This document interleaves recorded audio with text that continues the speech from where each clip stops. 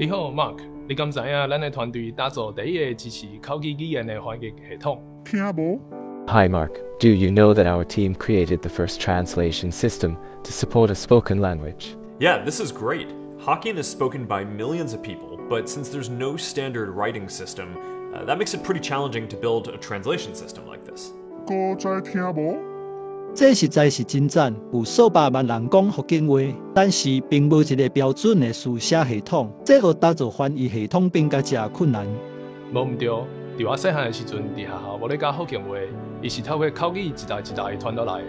That's right, Hokkien was not taught in schools when I was a kid, and it is passed down orally from generation to generation. Do you speak it with your kids? 你敢有对你的囡仔讲？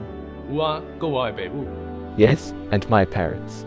Well, thanks to your research, now we can all understand it too. Alright, so our team developed the first speech to speech AI translation system that works for languages that are only spoken and not written like Hokkien.